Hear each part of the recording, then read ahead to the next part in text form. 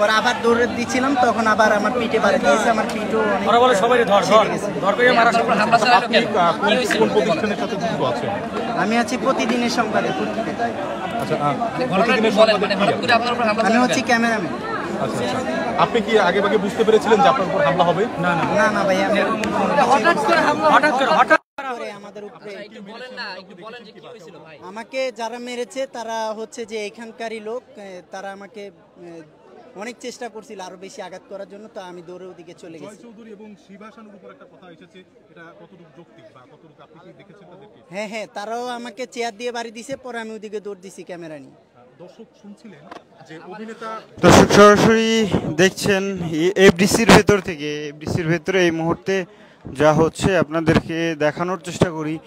যদি সাংবাদিকদের উপরে বিকেলের দিকে ঠিক হামলা চালায় শিল্পীর বেশ কয়েকজন শিল্পী সমিতির সদস্য, নবনির্বাচিত সদস্য।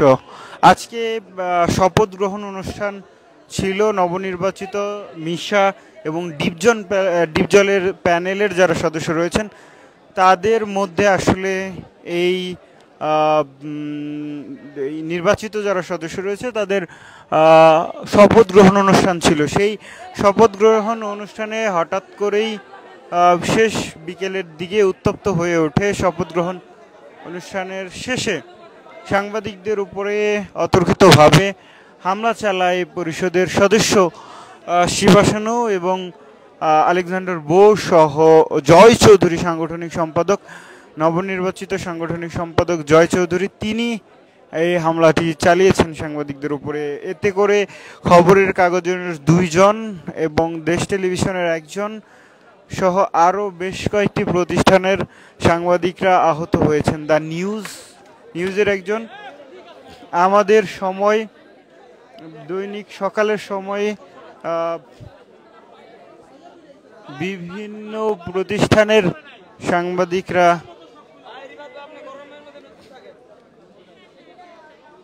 বিভিন্ন প্রতিষ্ঠানের সাংবাদিকদের উপরে এই হামলাটি চালায়। আমাদের সময় এর একজন রিপোর্টার তার উপরেও হামলা চায়। বিশেষভাবে আহত হয়েছেন খবরের কাগজের ভিডিও সাংবাদিক, ভিডিওগ্রাফার আরমান, মোহাম্মদ আরমান। তিনি আসলে এই হয়েছে। এবং দা নিউজের একজন সাংবাদিকও রয়েছেন। দর্শক সরাসরি দেখছিলেন উনিশে এপ্রিল সাংবাদিক এফডিসির শিল্পী সমিতির নির্বাচন অনুষ্ঠিত হয়। এবং বিশে এপ্রিল নবনির্বাচিত হন মিশা ডিপজল পরিষদের সদস্যরা প্যানেল এবং তারপরে আজকে বিকেলবেলা এফডিসি প্রাঙ্গণেই শপথ গ্রহণ অনুষ্ঠান হয়েছে এবং ঠিক শপথ গ্রহণ অনুষ্ঠানের শেষ পর্যায়ে সাংবাদিকরা তাদেরকে প্রশ্ন করছিলেন এবং তারপরে আমরা দেখছিলাম যে প্রশ্ন করার এক পর্যায়ে সাংবাদিকদের উপরে এই অতর্কিত হামলা চালায় এরা। প্রথমে একজন সাংবাদিকের উপরে হামলা চালানোর পরে সেই হামলা ছড়িয়ে পড়ে এবং সেই হামলা ছড়িয়ে যায় বেশ কয়েকজন সাংবাদিকের উপরে। দর্শক, সরাসরি দেখছিলেন ইত্তেফাকে এবং আপনাদেরকে দেখানোর চেষ্টা করছিলাম শিল্পী সমিতির নির্বাচনের নির্বাচনের ঠিক পরে শপথ গ্রহণ অনুষ্ঠানে সাংবাদিকদের উপরে যেভাবে হামলা চালিয়েছে, যা হয়েছে তা দুঃখজনকই বটে। দর্শক সরাসরি দেখছিলেন এডিসির ভেতর থেকে এবং কয়েকজনের সাথে কথা বলার চেষ্টা করছিলাম আমরা এবং যেমনটা আসলে বলছিলাম যে আজ বিকেলবেলা হঠাৎ করেই সাংবাদিকদের উপরে হামলা চালানো হয় এবং কি হয়েছিল কয়েকজনের সাথে একটু জানতে চাইব। এবং দর্শক সরাসরি দেখছিলেন। এবং যেমনটা আসলে বলছিলেন, কি হয়েছিল তখন? সেই জায়গাটিকে তারা সরাসরি হামলা করেছেন এবং হামলা করার পরে বিশেষ করে যারা ক্যামেরা পার্সন রয়েছেন, বিশেষ করে খবরের কাগজ, দেশ টিভির বা ওরা ছয় সাতজন এখন হসপিটালাইজড হয়েছেন তখন ওদের উপর মামলা পড়ার পর এমন পর্যায়ে গিয়েছে শেষ পর্যন্ত শিল্পীরা এবং সাংবাদিকরা মুখোমুখি যখন হয়ে গেছে, তখন কাউকে না চিনে দেদারচে পিটানো শুরু করেছেন ওই শিল্পীদের, বিশেষ করে নামধারী যারা শিল্পী ছিলেন, তারা পিটানো শুরু করেছেন। দা নিউজ থেকে তো ঘটনার সময় আপনি ছিলেন। আপনার সাথে যারা সহকর্মী ছিলেন তারা আহত হয়েছেন শুনতে পেরেছি। বিশেষ করে যখন খবরের কাগজের ক্যামেরাম্যান এবং হচ্ছে রিপোর্টারকে পেটানো শুরু করেছেন সেই মুহূর্তে আমাদের যে গণমাধ্যম যে খবর দৈনিক দা নিউজের সে দা নিউজের রিপোর্টার শুভ এবং ক্যামেরা পার্সন আলী তাকে ইয়ে করতে প্রোটেক্ট করতে যায় এবং রক্ষা করতে যায়। তখন যারা যারাই রক্ষা করতে গেছে। আলী সহ আরও যারা ছিলেন সবাইকেই তারা সেটাকে বেধরক পিটনের শিকার হয়েছেন। এবং যে বিষয়টি তখন লিখেছি তখন কাউকে কোনো মুখ দেখে না। যাই হোক কিছু কিছু শিল্পী ছিলেন যারা ভালো ছিলেন এবং তারা বলছেন সাংবাদিক ভাইরা তোমরা এদিক দিয়ে আমরা গেট খুলে দিচ্ছি তোমরা বের হয়ে চলে যাও। এরকম বলেছেন। যেমন বিষয়টি এরকম পরিস্থিতি ছিলেন। দর্শক সরাসরি দেখছিলেন ইত্তেফাকে এবং আপনারা দেখানোর চেষ্টা করছিলাম। আসলে কি হয়েছিল তখন? এবং আরও একজন দেশ টেলিভিশনের সাংবাদিক তিনি কথা বলছেন। মোবাইল নিয়ে ক্যামেরা নিয়ে হুমড়ি খেয়ে পড়েছে এবং তার জন্য কিন্তু সেদিন আরও একটি বিশৃঙ্খলা সৃষ্টি হয়েছে। যদিও সেদিন অনাকাঙ্ক্ষিত কোনো ঘটনা ঘটেনি এবং আর সেই আর রেসটা কিন্তু মনে হচ্ছে যে আজকেই হয়ে গেল। সেই অনাকাঙ্ক্ষিত ঘটনা আজকে ঘটে গেল যেটা কারোই আসলে কাম্য নয়। দেব আমরা জানি যে আপনি বিগত অনেক দিন ধরে কিন্তু সাংবাদিক হিসেবে সংবাদ সংগ্রহ করে থাকেন। আপনার চাওয়া কি? অবশ্যই চাইব যে ধরনের নেকারজনক হামলা ঘটনা হয়েছে, তা যারা করেছে সবারই ফুটেজ আছে মোবাইলে ক্যামেরায় ফুটেজ সেই ফুটেজ দেখে শনাক্ত করে তাদেরকে বিচারের একটা আওতায় আনা হোক।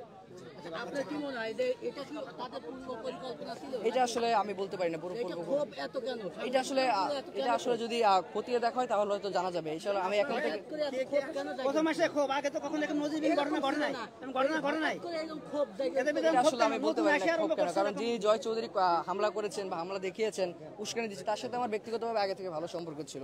এবং তিনি আসলে আজকে কেন এই ঘটনাটা করলেন আমি আসলে জানি না। একজনের সাথে লাগতে পারে কিন্তু সমস্ত কিন্তু সব সাংবাদিকের উপর কেন সাংবাদিকদের উপরে কিন্তু হামলা এটা আসলে হয়েছে একজন আমাদের ভাই। তাকে যখন মারছে আমরা অবশ্যই তাকে থামাতে যাব বা পরিস্থিতি শান্ত করতে যাব। প্রথমে আমাদের দেখলাম খবর কাগজের মিঠুন ভাইকে প্রথমে দেখলাম যে তাদের অ্যাটাক করেছেন।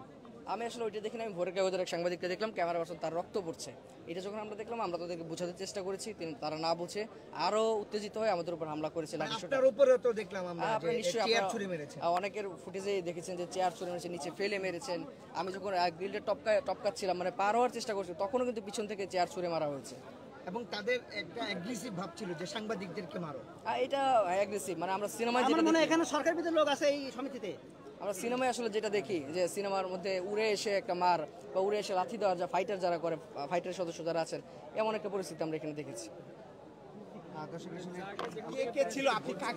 দর্শক সরাসরি দেখছিলেন ইত্তেফাককে এবং আপনাদেরকে দেখানোর চেষ্টা করছিলাম ভালো লাগে না? শিবা শানু তাকে মারতে মারতে ওই মাথা মতো নিয়ে গেছে। শিবা শানু আমাদের একজন সাংবাদিককে। হ্যাঁ এই এই- এই যে ওনাকে। এই যে ওনাকে মারতেছিল। তো আমাদের এক আমার রিপোর্টার যে, সে বলতেছে, ভাই, সব ক্যামেরা পার্সন ক্যামেরাম্যান সবাই আসেন, এনে মারতেছে সাংবাদিক। তা আমরা ওইখানে গেলাম, যাওয়ার পর এইখানে আসছে মারতে মারতে। ওই গেট আটকা দেওয়ার পরে জয় চৌধুরী এবং কি তার আরও লোকজন মিলে, সবার উপরে লাথি। কোনো কথা না, লাথি। ওইখান থেকে ব্যাংকে কইছে, ধর ধর কইছে, আমরা সবাই এদিকে আসছি।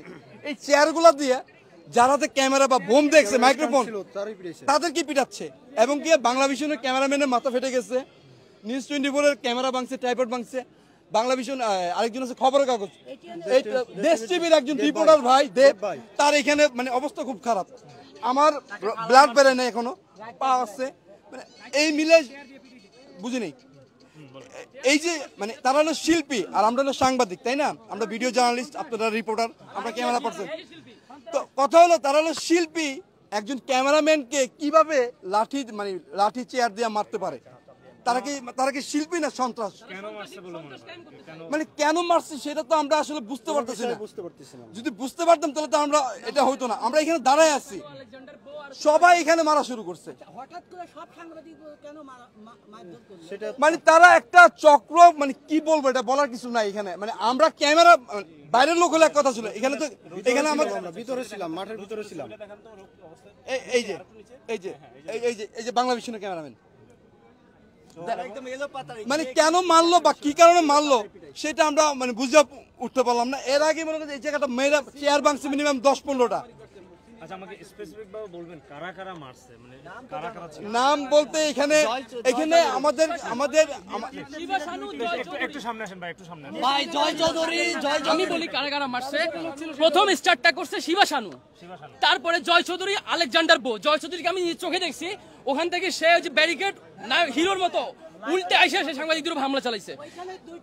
এবং আপনাদের হামলার একটা নমুনা আমি রেখে দিয়েছি প্রথম থেকে। যেহেতু কতগুলো চেয়ার ভাঙছে সেটা সেটা সবাই দেখছেন বাট দর্শকদের দেখার জন্য যে একটা হামলার নমুনা দেখাই যে দেখেন একটা উলঞ্জি তারা ভেঙে ফেলছে মেরে এবং যাদেরকে তারা কাছে পায় নাই তাদেরকে তারা চেয়ার ছুটে হামলা চালাইছে। এটা মাগরিবের পরে এটা পরিকল্পিত ভাবে আর হচ্ছে এদেরকে শিল্পী সমিতির হিসাবে তাদেরকে নায়ক ধরা হয়। আর হচ্ছে সন্ত্রাস নামে ওদেরকে তারা সন্ত্রাসী অবহিত করা হইল। এবং আমরা হচ্ছে জয় চৌধুরী আলেকজান্ডার বো এবং শিবা শানু এই তিনজনকে বহিষ্কার চাই। এবং তারা আমাদের সাথে সাংবাদিকদের সামনে ক্ষমা চাইবে পা ধরে এবং তাদের বিরুদ্ধে আইনানক ব্যবস্থা নেওয়া হবে। অবশ্যই তারা মাপ চাইবে প্রথম কথা পা ধরে সবার সামনে এবং তাদেরকে বহিষ্কার করতে হবে এবং তারা যে সাংবাদিকদের পেটাইছে পেটাইছে এটার জন্য হচ্ছে তাদের বিরুদ্ধে আইনানুক ব্যবস্থা নিতে হবে। শপথ গ্রহণ আজকে এটা শপথ গ্রহণ অনুষ্ঠান ছিল চারটার দিকে সেই অবস্থায় হঠাৎ করে দিকে দেখলাম সরাসরি দেখছিলেন ইত্তেফাকে এবং আপনাদেরকে দেখানোর চেষ্টা করছিলাম। এফডিসির ভেতরে সার্বিক পরিস্থিতি এখনও পর্যন্ত কিন্তু উত্তপ্ত হয়ে রয়েছে পরিস্থিতি।